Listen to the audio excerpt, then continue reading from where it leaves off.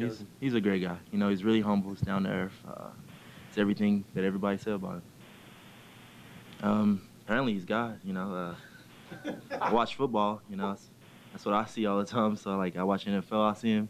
I watch ESPN. I see him. Uh, I guess we're gonna get him a commercial too. in general?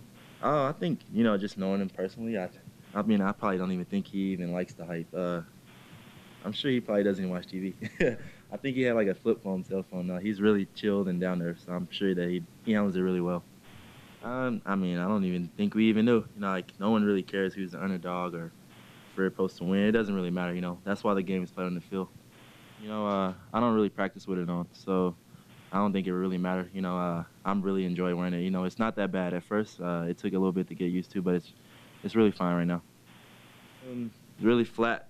Uh, we're really, really flat. I should say. Uh, crowd really wasn't a factor. Uh, we have to bring our, our own energy. Uh, hopefully, we get a lot of Duck fans. You know, maybe we should print that in the paper. That you know, I said we need a lot of Duck fans to come to Palo Alto, cheer us on, because we're really gonna need it going against a great opponent like Stanford. And, uh, we can try to make it a home game.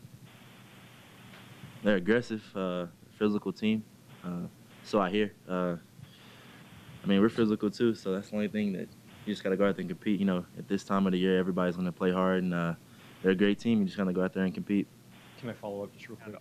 Uh, no, not really. You know, you get past that, then it's probably going to be a touchdown. You know, uh, it doesn't really matter what kind of defense they run. Uh, we're going to continue to do what we do, and uh, they're going to continue to do what they do. Um, I don't worry about a zero. You know, half the time I don't even pay attention to what defense they run. Uh, I just look at the players and see how they move. But you know, as far as they run a three, four, or whatever they're gonna run, that stuff really doesn't matter to me. It took it probably about a game, you know, just to get used to, because I mean, I just wasn't, you know, getting hit in practice with it on, and I wasn't running really fast with it on, or just, you know, going through live drills and blocking and uh, just going throughout the game with it on. So it, it only took about a game.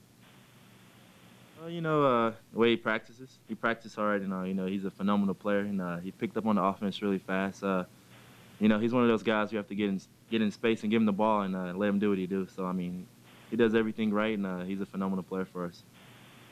Game. Yeah, I feel good. Uh, I'm used to you know getting the ball that many times. It doesn't really bother me. Uh, I think I play enough football, you know, know how to fall and take on hits. Uh, so it's not that bad at all.